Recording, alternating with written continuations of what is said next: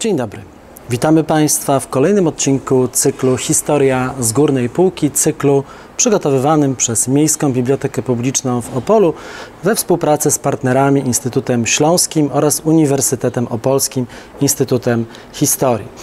Powoli zbliżamy się do końca wakacji 2024 roku. Powoli od tych książek, które trochę lżej traktowały o przeszłości, choć dotyczyły ważnych zagadnień, wracamy do tematyki istotniejszej, trudniejszej, tematyki, która opisuje najważniejsze wydarzenia z historii państwa polskiego, Europy i świata. Zanim we wrześniu przejdziemy do książek o wojnie, chciałem Państwa dzisiaj zachęcić do lektury książki Richarda Butterwicka. Światło i płomień, odrodzenie i zniszczenie Rzeczypospolitej w latach 1733-1795.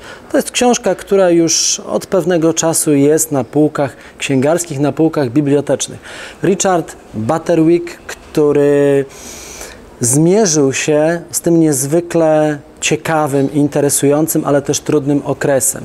Od momentu, kiedy przestaje panować August II, kiedy rozpoczyna się walka między Stanisławem Leszczyńskim a Augustem III, kiedy Polska jest już karczmą zajezdną i kiedy de facto to Rosja rozdaje karty na naszych ziemiach, ale jednocześnie jest to czas, kiedy oświecenie, bo to przecież stulecie oświecenia rozpoczyna się odrodzenie.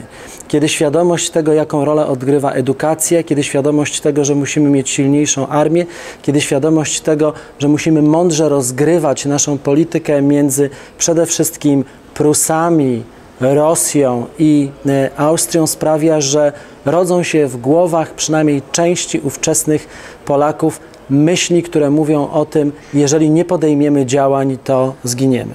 Richard Butterwick jest polskim historykiem, choć dzisiaj jest jednym z głównych historyków Muzeum Historii Polski i po polsku mówi e, znakomicie. Pisze książki, które z jednej strony pozwalają nam poczuć się lepiej i mieć świadomość tego, ile wspaniałych rzeczy w polskiej historii było dokonanych, bo choćby stworzenie na kilkaset lat Rzeczpospolitej obojga narodów było takim właśnie działaniem, ale z drugiej strony też bez znieczulenia pokazuje nam błędy, które były popełniane. Proszę Państwa, ta obszerna książka to w moim przekonaniu lektura obowiązkowa.